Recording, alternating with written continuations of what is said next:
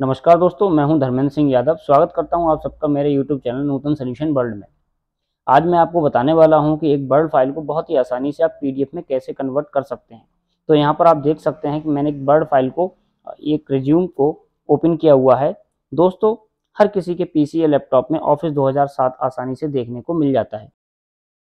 Office दो के through ही या इससे जो भी आपका वर्जन है, उसके थ्रू ही आप सीधे डायरेक्ट आप बिना किसी थर्ड पार्टी ऐप या वेबसाइट पर जाए ही अपने ऑफ़िस के थ्रू ही आप पीडीएफ फ़ाइल को आसानी से वर्ड फ़ाइल को पीडीएफ फ़ाइल में कन्वर्ट कर सकते हैं। इसके लिए सिंपली आपको जब ये फ़ाइल सेव करनी तो यहाँ पे सेव एज यहाँ एक ऑप्शन आता है पीडीएफ और एक्सपीएस सिंपली हमको इस ऑप्शन पर जाकर पीडीएफ और एक्सपीएस इस ऑप्शन पर जाकर इस फ़ाइल को सेव कर लेना है। जैसे ही हम इसको सेव करते हैं, यहाँ पर भी आपको लोकेशन सेट कर लेनी है कि किस जगह पे इसको आप चाहिए।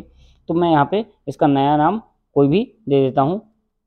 और मैंने यहाँ पे ये पब्लिश पे क्लिक कर दी। तो जैसे ही मैंने पब्लिश पे क्लिक किया, वैसे ही मेरी जो भी मैंने चूज़ लोकेशन की थी, वहाँ पर जाकर देखें तो हमारे पास एक पीडीएफ फ़ाइल बनकर तैयार हो चुकी है। और यहाँ पर ये देखें, हमारा जो रिज्यूम बर्ड फ़ाइल में था, वो हमारा पीडीएफ में कन्वर्ट हो चुका है। इस तरह से आप आसानी से अपने ऑफ़िस के थ्रू ही आप यहाँ पर बर्ड फ़ाइल को पीडीएफ फ़ाइल में कन्वर्ट कर सकते हैं।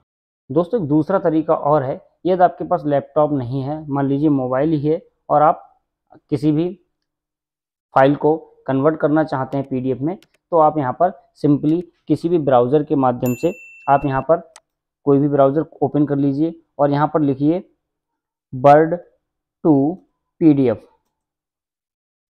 जैसे ही आप यहाँ पर लिखते हैं तो सबसे पहली ही वेबसाइट आ जाती है यहाँ पर I love P D F dot com यहाँ पर convert Word to file to PDF. यहाँ पर जैसे ही आप इसको क्लिक करते हैं तो यहाँ पर सिलेक्ट वर्ड फ़ाइल करने का ऑप्शन आ जाता है।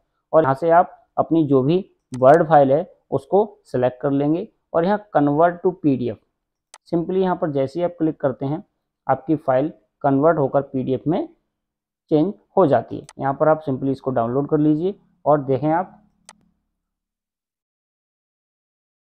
ये हमारी फ़ाइल पीडीएफ बनकर तैयार हो गई। तो यहाँ पर आपके सामने दो तरीके हैं। आप आसानी से या तो नेट के माध्यम से, ब्राउज़र के माध्यम से या फिर सीधे सीधे अपने माइक्रोसॉफ्ट ऑफ़िस प्रोग्राम के माध्यम से ही वर्ड फ़ाइल को सीधे पीडीएफ में कन्वर्ट कर सकते हैं। आशा करता हूँ आज की वीडियो आपको पसंद आई होगी। यदि वीडियो पसंद आई है तो वीडियो को लाइक करें, चैनल पर नए हो तो चैनल को सब्सक्राइब करें और अन्य दोस्तों में भी शेयर करें ताकि वे भी इस जानकारी से रूबरू हो पाएँ।